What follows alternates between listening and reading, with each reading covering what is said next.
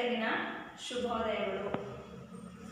ಮಕ್ಕಳೇ, ನೀವು ಈಗಾಗಲೇ ಕನ್ನಡ ವರ್ಣಮಾಲೆಗಳನ್ನು ಕಲಿತಿದ್ದೀರಾ ಇವತ್ತು ಕನ್ನಡ ವರ್ಣಮಾಲೆಯಲ್ಲಿ ಎಷ್ಟು ವಿಧಗಳಿವೆ ಮತ್ತು ಅವು ಯಾವುವು ಅನ್ನೋದನ್ನು ಇವತ್ತು ನಿಮಗೆಲ್ಲ ನಾನು ಪರಿಚಯ ಮಾಡಿಕೊಡ್ತೇನೆ.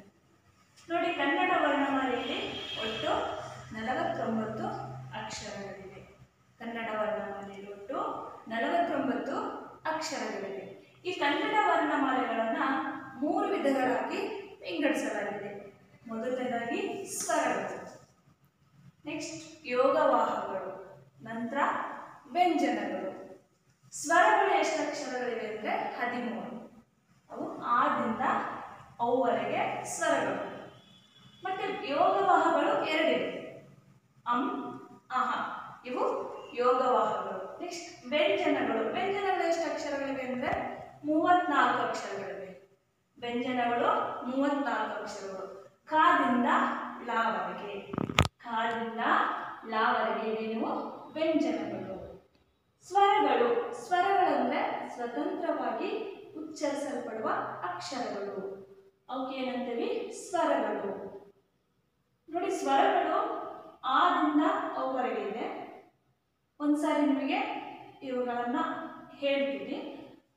ಆ ಆ ಇ ಈ, ಉ ಊ ಋ ಎ ಎ, ಐ, ಓ ಓ, ಔ. ಇವಿಷ್ಟು ಸ್ವರಗಳು. ಇವೆಲ್ಲ ಏನಿವು? ಸ್ವರಗಳು. ನೆಕ್ಸ್ಟ್ ಯೋಗವಾಹಗಳು. ಯೋಗವಾಹಗಳು ಎಷ್ಟಿವೆ? ಎರಡಿವೆ. ಅದು ಅಂ ಆಹ ಇವೆರಡು ಮಾತ್ರ ಯೋಗವಾಹಗಳು. ನೆಕ್ಸ್ಟ್ ವ್ಯಂಜನಗಳು. ವ್ಯಂಜನಗಳು ಎಷ್ಟಿವೆ? ಮೂವತ್ನಾಲ್ಕು ಅಕ್ಷರಗಳಿವೆ. ಇವುಗಳನ್ನ, ಇವುಗಳು ಸ್ವರಗಳ ಸಹಾಯದಿಂದ ಇವುಗಳನ್ನ ವ್ಯಂಜನಗಳನ್ನ ನಾವು ಉಚ್ಚರಿಸಲ್ಪಡ್ತೀವಿ. ವ್ಯಂಜನಗಳು ಕಾದಿಂದ ಲಾವರಿಗೆ. ಕ, ಖ, ಗ, ಘ.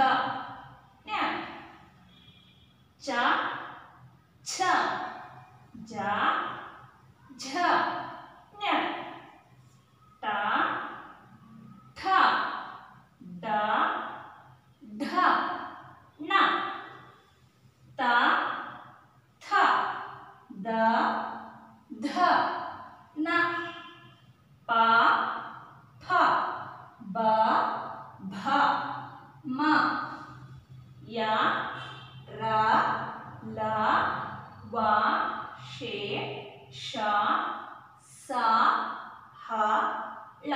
ಇವೆಲ್ಲ ವ್ಯಂಜನಗಳು. ಇವೆಲ್ಲ ಏನು? ವ್ಯಂಜನಗಳು. Thank you